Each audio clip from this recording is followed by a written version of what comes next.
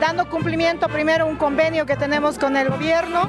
Es un convenio que hemos firmado el año 2017. Hemos recibido eh, de este convenio eh, hasta la fecha cuatro tractores y nuestra contrainversión en este proyecto es de aproximadamente un millón de bolivianos. Este centro de mantenimiento para los, en realidad los 18 tractores que tenemos como municipio, estos últimos cuatro y los otros que también forman parte de la propiedad del municipio, implica esta importante inversión. Hemos informado a nuestras queridas autoridades indígenas originarias de nuestros cuatro distritos rurales, que por ejemplo con este aproximadamente un millón de bolivianos podíamos haber comprado dos tractores. Entonces, pero sin embargo es un complemento que tenemos. Hay una necesidad importante de fortalecer y apoyar este rubro, esta área de trabajo que tenemos dentro, uno en realidad de, los, de las áreas de trabajo que tenemos en los cuatro distritos rurales, que es la parte agrícola.